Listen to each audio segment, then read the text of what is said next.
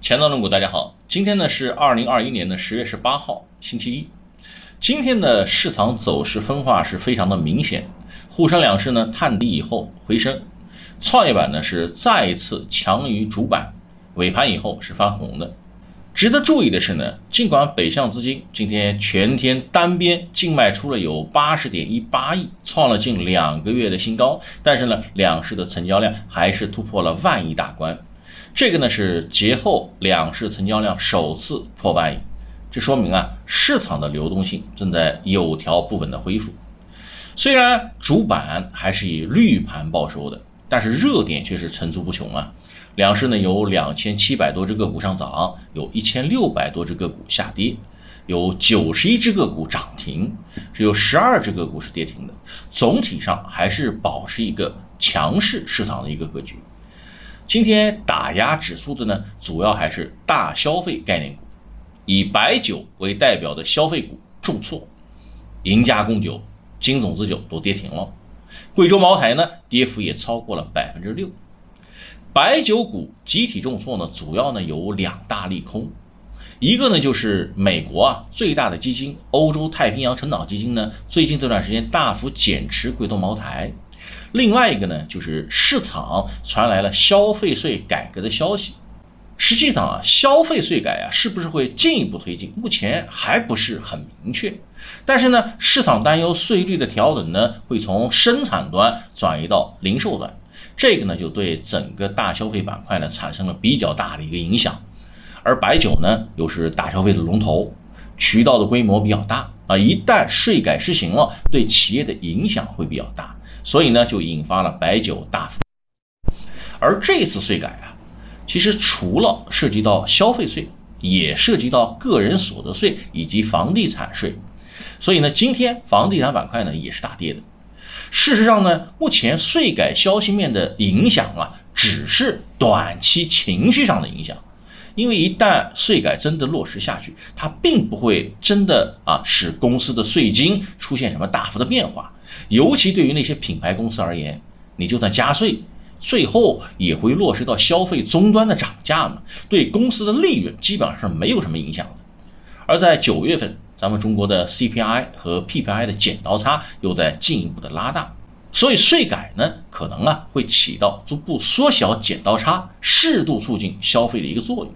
所以呢，今天大消费板块的集体调整，个人认为呢，只是受到短期消息面的暂时影响，而这种所谓的利空啊，可能反而会加速市场做方向上的选择。那么为什么会这么讲呢？因为到目前为止，市场上。该公布的经济数据已经都公布了，这样的话呢，从现在开始一直到下个月的四号，也就是十一月四号，市场的利空将会告一段落。那么十一月四号，美联储呢可能会宣布是否实施缩减债务规模 （taper） 计划。呃，实际上呢，美国通胀预期是在大幅的升温嘛，十一月缩表的概率是非常的大的，这个呢势必就会对全球市场都产生深远的影响。但是呢，从现在到十一月四号，那就会是一个消息面的一个真空期，而在这段时间，短期热点呢会有非常大的可能集中表现。像今天啊，顺周期板块是持续的走强，是因为呢资源类的期货大幅度上涨，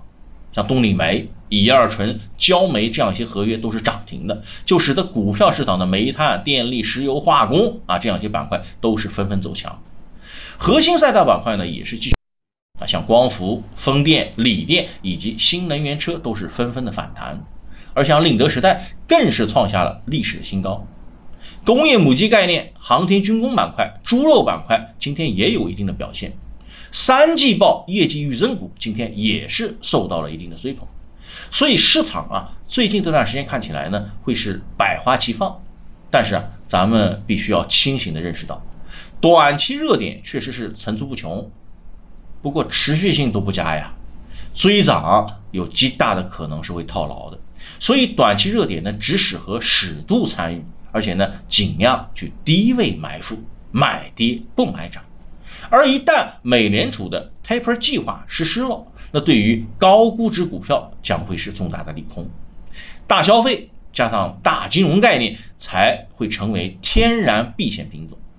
我们从今天北向资金全天净流出就可以看出来，目前啊外资观望的氛围是比较浓厚的，